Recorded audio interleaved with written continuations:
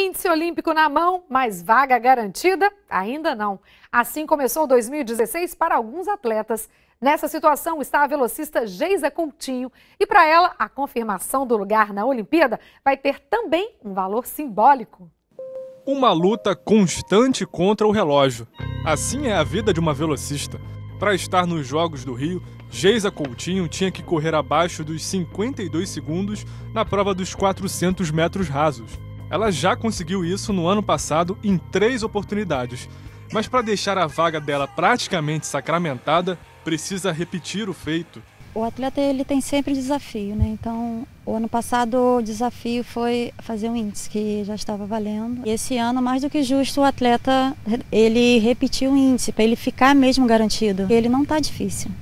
Basta você estar tá bem treinada para fazer o índice. Geisa nasceu em Araruama, região dos lagos do estado do Rio de Janeiro. Mas no maior evento esportivo realizado na cidade maravilhosa até hoje, o PAN de 2007, ela não esteve presente. Uma lesão na coxa tirou o gostinho de participar de uma competição desse porte em casa. Para mim foi praticamente um ano morto.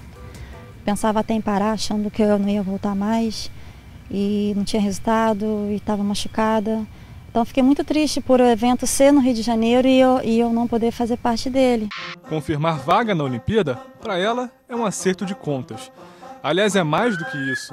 Ela esteve em Atenas 2004 e Londres 2012.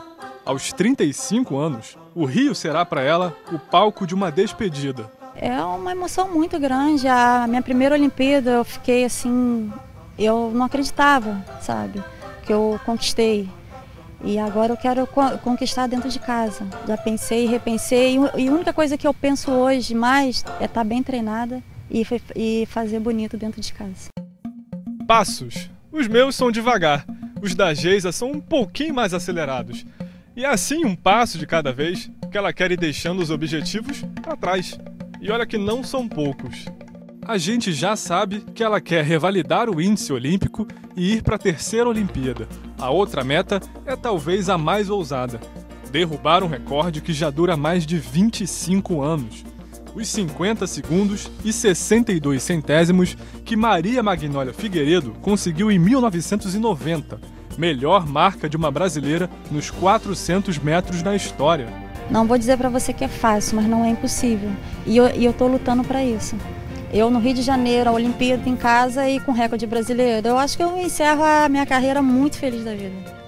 O melhor tempo da vida da Geisa foram os 51 segundos e 8 centésimos registrados nos Jogos Mundiais Militares de 2011, disputados coincidentemente no Rio. Pelo visto, para fazer história, talvez ela precise só lembrar como é correr em casa.